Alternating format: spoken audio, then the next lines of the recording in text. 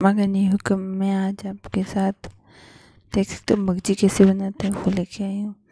बहुत ही आसान से बनाएँगे और इसको कैसे बनाते हैं और उल्टन करने की ज़रूरत नहीं है। पहले से ही हम उल्टन करके फिर इसकी मगजी बनाएँगे।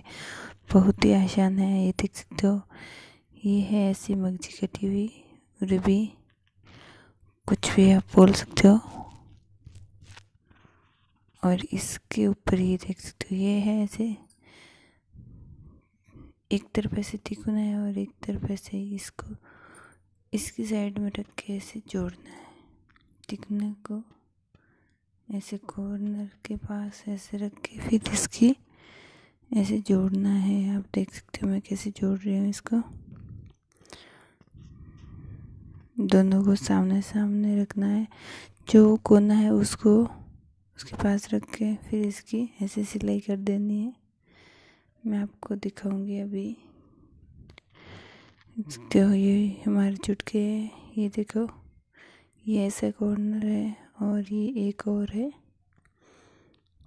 इसको ऐसे ये वाला है हिस्सा इसके पास ऐसे रख के फिर इसकी ऐसे सिलाई कर देनी है और बहुत ही आसान है, मगजी भी बनाना। और इसके ऊपर फिर मगजी बना के फिर हम गुना लगा देंगे। गोल्डन कलर का। ये देख सकते हो, इसकी भी सिलाई कर दी है मैंने। ये कुछ इस तरीके से मगजी जुड़ जाएगी। देख सकते हो। ऐसे ही सारी मैं मगजी बना दूँगी। और फिर इसके ऊपर गुना लगाऊँगी। देख सकते हो आप कैसे लगाना है गुना। इसको ऐसे फोल्ड करके इसको ऐसे फोल्ड करके, फिर दूसरी साइड वाला है ना, उसको इसके अंदर डाल देना है, फिर इसके ऊपर गुना लगा देना है। ये देख सकते हो ऐसे। ये है, ये हिस्सा इसके अंदर ऐसे हम फोल्ड कर देंगे। ये देख सकते हो।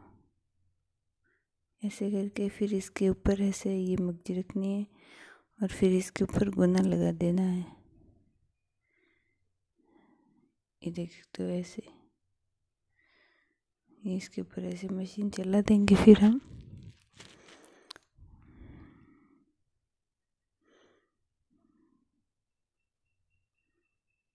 इसके ऊपर हम सिलाई कर देंगे अब। ये देख सकते हो। बहुत ही अच्छे से हो जाएगा और बहुत ही सफ़ाई से ये गुना लगेगा और बहुत ही अच्छा लगेगा।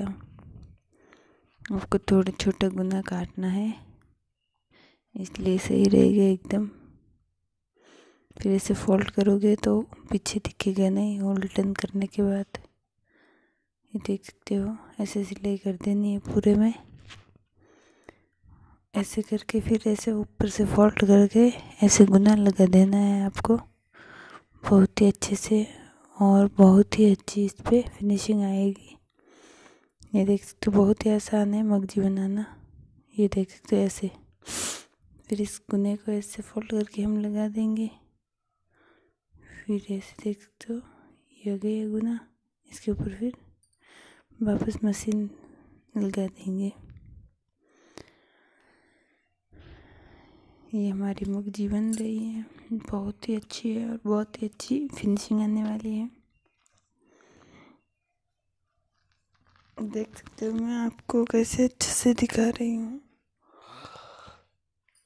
जो आपको समझ में नहीं आए वो मुझे बता सकते हो, पूछ सकते हो कमेंट में।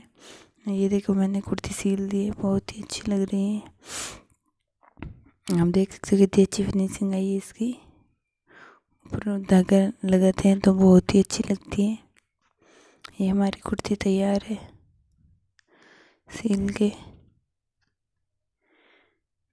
देख सकते हो, बहुत ही अच्छे से इसका गड्ढा वगैरह सब बहुत अच्छे और ये है इसकी कांचली ये भी मैं आपको दिखा रही हूँ। ये देख सकते हो, बहुत अच्छी सील है और इसके अंदर कांच लेके मैंने गुना निकाला है। सकते हो, आपको मैं इसकी मगजी की फिनिशिंग बताती हूँ, पीछे से ये देख सकते हो, बहुत ही सुंदर है ये। और तीन बार में सिलाई करके हम सिल सकते हैं, बहुत ही आसानी से। देख सकते हैं आप। ये देखो, इसके गुने कितने अच्छे, एकदम फिनिशिंग में आया है, बहुत ही अच्छे लग रहे हैं। मेरे वीडियो को लाइक करना, शेयर करना और कमेंट करना।